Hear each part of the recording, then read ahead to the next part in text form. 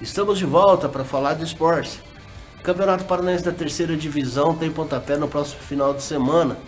Há equipes aqui da nossa região, o time do REC, o time do Nacional, o time da Portuguesa Londrinense e o time do Cambé. O time do Cambé estreia contra o Paranavaí. A estreia fora de casa, está jogando lá na cidade de Paranavaí. Quem vai falar comigo sobre a preparação de hoje aí do, do time, né, do campeonato, sobre o campeonato, como está a expectativa é, do, do, time da, da cidade de Cambé para essa competição. É um campeonato que todos buscam, claro, sair da terceira e ir para a segunda.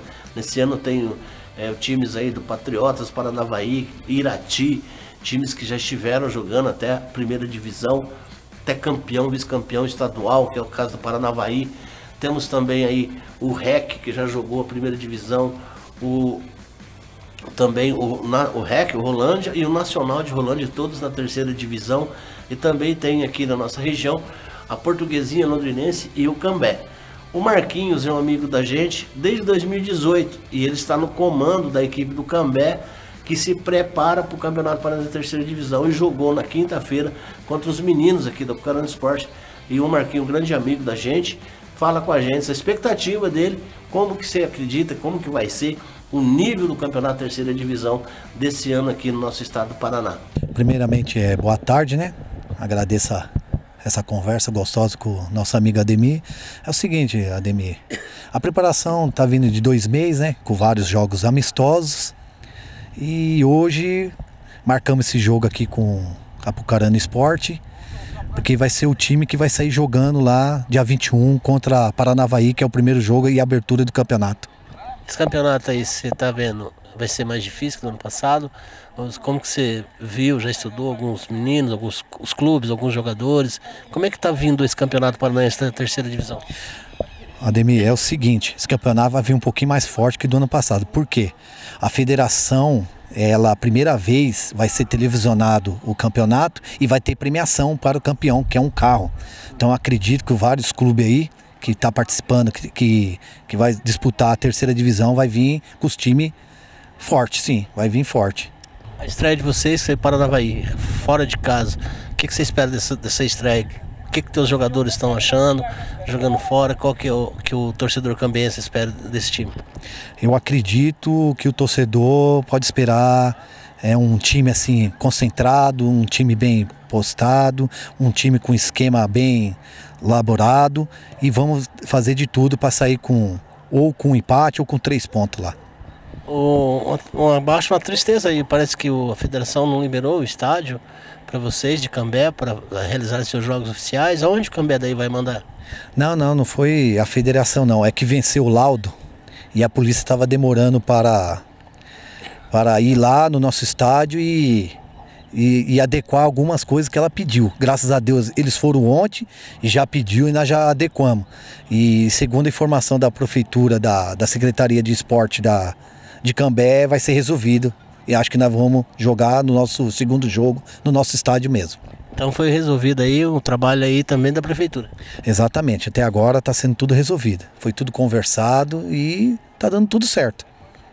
O Marquinho, tem algum atleta aí que, que pessoa pode ficar analisando, olhando, que, que vem aí com uma certa experiência para o time? Sim, nós temos o goleiro Gabriel, que foi campeão por o nosso amigo, o vizinho aí, cidade de Cascavel, né? Ele jogou lá e estava no time do Canaã também, foi campeão lá em Canaã, segunda divisão baiano. Tem o Kaique que jogou a Copa do Brasil, que é, o, que é um segundo volante muito bom, jogou agora recente Copa do Brasil, tá conosco. Tem o André, também estava no Vitória na base do sub-20, entendeu? E temos também o Ramos, atacante que estava no Santa Catarina. E eu acredito que nós temos 4, 5 jogadores aí que é bom ah, outros clubes dar uma olhadinha, acompanhar o campeonato, os treinadores aí que eu acredito que vai, vai ser bom para eles. A competição não é só participar, a intenção do Cambé, então agora é chegar à divisão de acesso. Eu acredito que sim, né? Fizemos um bom time, né? Ajuntamos em São Paulo com alguns empresários, enviaram esses jogadores e são jogadores que são carimbados, já tem uma bagagem aí. Então acredito que o Cambé vai vir forte. Tá aí o Marquinhos falando sobre o time né, dele na competição do Campeonato Paranaense. Boa sorte para os meninos aí, vamos acompanhar, né? Temos aqui a portuguesa, o próprio Cambé, REC e o Nacional, que era a nossa região, que vai estar, estar participando. Ah, o Maringá também e o Arapongas vai disputar a terceira divisão do Campeonato Paranaense. Esse campeonato aí vai ser transmitido, gente, por televisão, igual o Marquinhos falou. Transmissão. Já a segunda não teve, né? Pois é, transmissão pela TV. Vamos aguardar esse campeonato. A gente vai acompanhar de perto, vai ter transmissão. Então a gente vai estar acompanhando o Campeonato Paranaense da terceira divisão. Plataforma de streaming, né? Plataforma de streaming mesmo. Etique Gil, etiquetas personalizadas para você.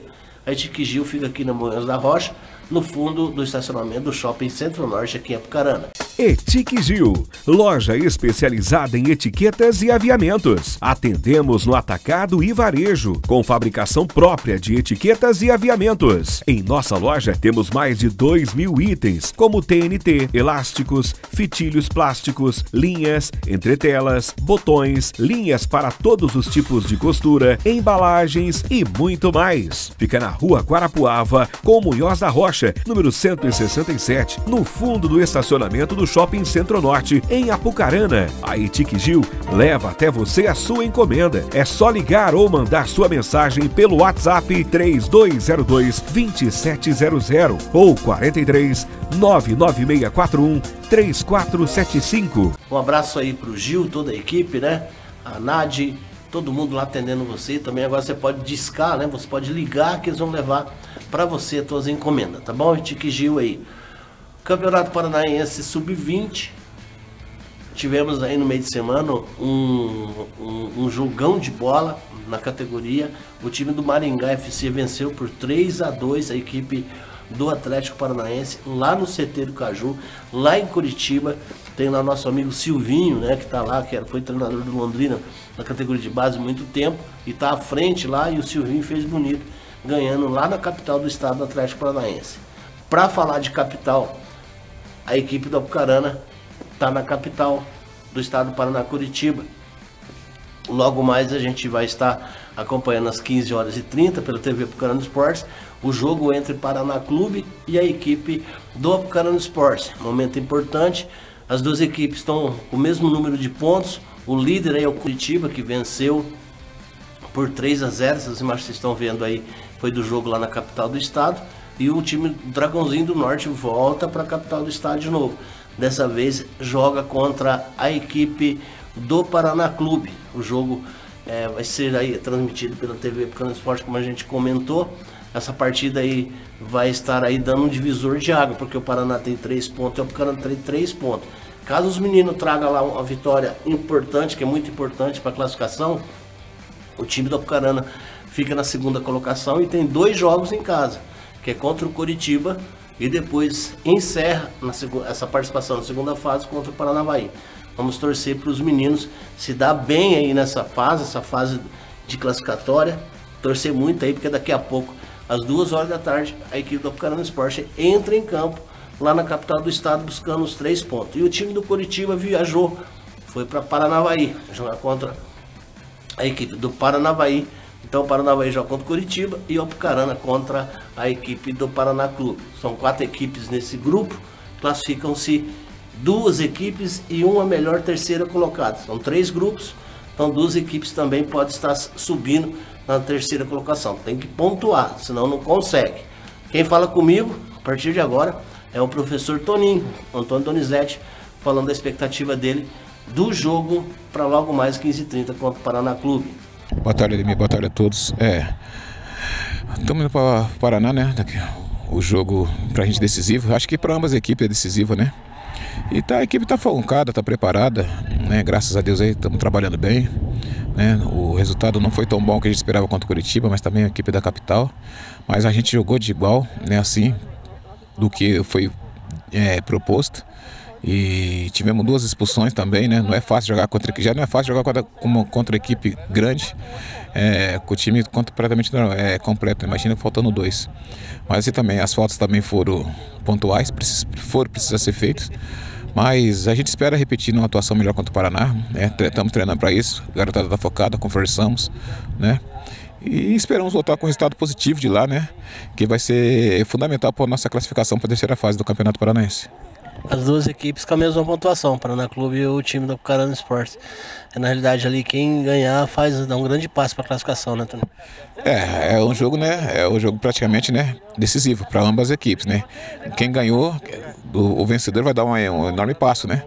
E para a gente também a gente vai ter o, a gente tem que pensar também a gente ter dois jogos em casa depois, né? Mesmo sendo um com Curitiba, mas temos Paranavaí em casa e a gente pensa em lá pontuar, né? Três pontos melhor ainda. Né? Mas a gente sabe que também a equipe do Paraná é uma equipe qualificada, né? Veio aqui empatou com a gente 0 a 0 de bons jogadores, o treinador também, um bom treinador. Né? Mas a gente também a gente confiar no trabalho da gente, né? E o cara não está no caminho certo, né? Tá, e a base está praticamente o ano todo aí jogando. Né? Daqui a pouco temos aí o torneio que já vai se iniciar lá em, em Recife. E esperamos fazer a nossa. trazer de lá do Paraná praticamente 50% classificado. Tá aí o professor Toninho falando sobre a expectativa dele, é claro, é, desse campeonato Paranaense Sub-20. O time do Apucarana ficou na quinta colocação na, na, na, última edição desse campeonato. Lembrando que o Londrina foi o campeão nessa edição, né? E o Curitiba foi o vice. Grupo apertado, time do Apucarana, né? Vamos torcer muito aí. Quem vai falar com a gente? Quem vai falar com a gente agora é o atleta do time do Apucarana Esportes, revelação Léo Gui, fez um, um campeonato, um jogo muito bom, está relacionado e vai entrar jogando logo mais contra a equipe do Paraná, Paraná Clube. A expectativa está muito forte, a gente vem trabalhando firme, pensando nesse jogo. E literalmente é um confronto direto, né? Pois quem ganhar vai estar mais, mais perto da, da terceira fase. E a gente vem trabalhando muito firme, pensando nesse jogo aí, para sair com saldo positivo. Samir, você veio da onde? Qual a tua posição?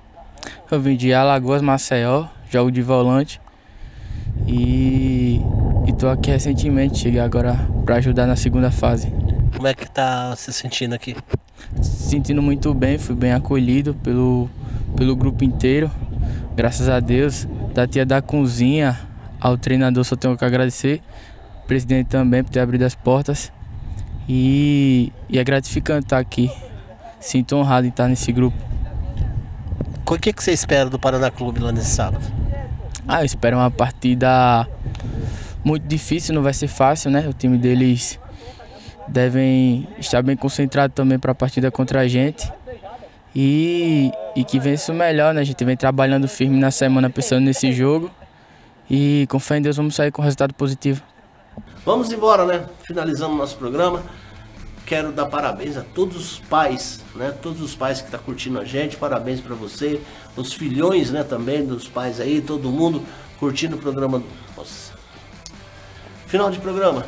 Quero agradecer de coração vocês por ter acompanhado a gente. Daqui a pouco vem o Felipe, o repórter selvagem. Mas eu quero dar parabéns a você, papaizão. Hoje o seu, amanhã vai ser seu dia. Na verdade, pai todo dia, né? Mas parabéns para vocês, é comemorado nesse domingão junto com a família, junto aí, claro, com Jesus Cristo, Nossa Senhora Aparecida, todo mundo é, curtindo aí esse dia tão legal que é o Dia dos Pais, tá? Vocês ficam com Deus. Bom final de semana, segundo estou aqui com vocês para falar de mais programa do esporte, mais coisas do esporte da nossa cidade e da nossa região. Um abraço, fique com Deus.